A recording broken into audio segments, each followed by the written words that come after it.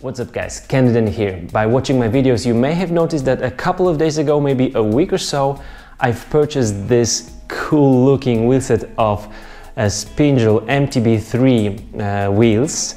And I thought I would have a bit more time to prepare to the review and to show you all the features that I know of and all the details but just one of you already purchased these wheels from me on my eBay store. Thanks for that. So I'm gonna prepare those uh, for for shipping but I will still like to I would still like to show you some of the features for those old school guys uh, just like me. This is how my Cannondale Killer looks like with those wheels.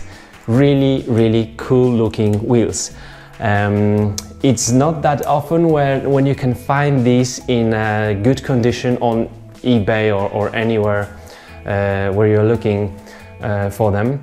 So uh, make sure when you're buying Spengle, Spengle and um, you want to be riding them just from time to time and just make your bike looking cool, make sure you are buying an MTB 3 version. That's the model which is the, the, um, the, the, stiffest and the strongest. Uh, you can really tell that Spengle was um, improving the stiffness and the durability uh, of those wheels and that's uh, one of the main of the, or the most important features uh, in my opinion. That's the strength of this uh, three-spoke construction. So uh, if you are interested in some cool looking wheels, uh, you have to know uh, the Spinergy. I've been riding Spinergy, the first and second generation. Uh, and when it comes to the stiffness, the Spinergy is like nothing comparing to the uh. I've been riding Santis um, MTB uh, wheels and even if you try to just push hard or compress these spokes, uh, you won't be able to push it in because it is just that strong and that's a very very cool feature of these. Now there is absolutely some weight penalty, uh, these are quite heavy so this is not for cross-country racing like today because your bike will weigh much more. Um, one of the be best things about these is uh, also that they look cool when you stand and they look even cooler when they spin. It's just unlike with the cool looking um, wheels for your bike. I love my Mavic Crossmax for, for MTB. I love my, my uh, Ksyrium SLRs for my uh, road bike. But when they start to spin, you, you no longer see that the wheel is very cool. And this one, uh, even if they spin um, just uh, faster, you will still see that this is some three spoke or some, some kind of cool design.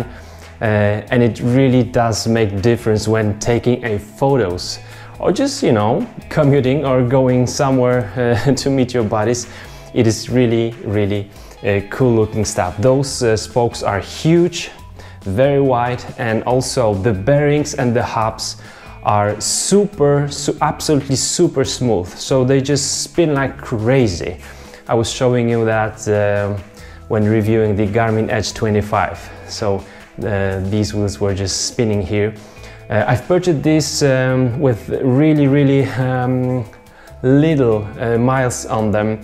Uh, they are true uh, and I'm gonna show you also how the bearings look like. These are of course the very aerodynamic uh, wheels but uh, maybe you it's not that important for those buying those wheels and just in nowadays it's more for like some cool projects. So let's just take a closer look to the hubs and what's inside them and the wheels will be sent to Taiwan. Alright, this is our rear wheel. Um, as you can see, I've already taken the bolts from the um, drive side bearing. The drive side bearing it's just it's just the um, very traditional like Shimano cap and cone bearing with nine quite large uh, balls. So this one has balls uh, on the drive side and then non-drive side we have a cartridge bearings.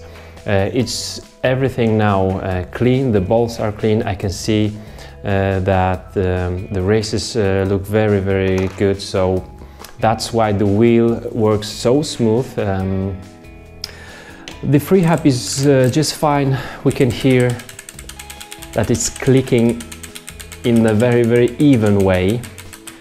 uh, so there is no need to unscrew this little lock nut and go go in there. Uh, actually the bearings were also quite, quite clean. Uh, the cartridge bearings is sealed with such um, sealant or seal and I'm using just the paper knife in order to take it off and open it. We have to be very careful not to scratch not, not to damage the edges so that uh, it will still be uh, working very fine and not allowing any water coming in. So the non-drive side, super easy. We simply uh, pack there now uh, my beloved Shimano grease, very good for hubs. Uh, it's even very, very good for uh, like all the bolts in the bike, the headset. I like this grease. So I'm gonna just uh, pack it in.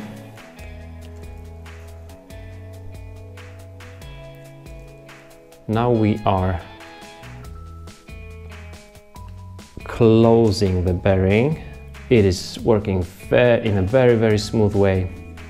Uh, I'm very happy with that. On the non-drive side, there is this quite large uh, it's not a rubber but kind of plastic. It's uh, very well made because when you just lock it into place it looks like it's a part of this wheel. There is no uh, space for the water or the dirt to come in and um, this hub was really clean. So now we're going to uh, put here some grease and then all the nine balls.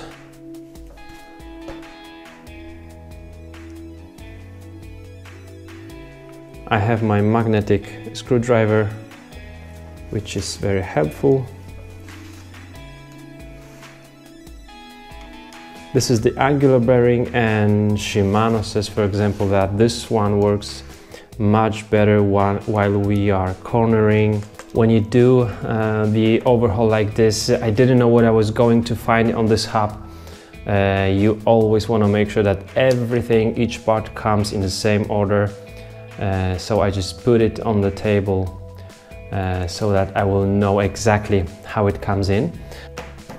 Alright, it's important for these two covers here on, on the drive side and this one on the non-drive side to come exactly into place, which just happened right now. And now I'm letting my axle come in also there. Looking smooth Good.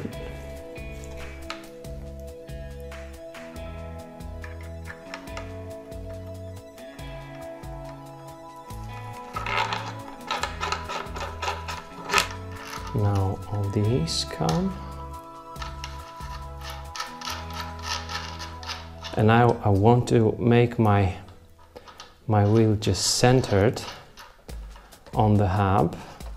Now we've got to use uh, wrench number 16 and 17.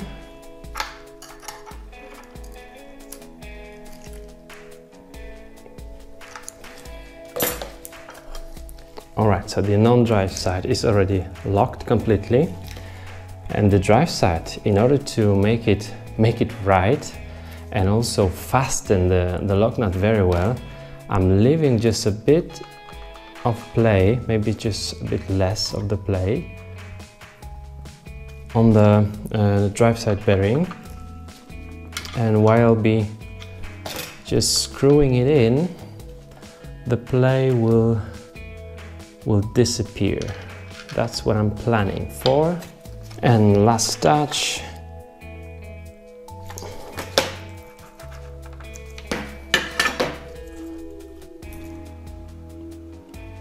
That's cool. Alright, so this was the review of those Spengle MTB three wheels, really cool stuff. And then we're just putting the cover here. As I said, really well done cover.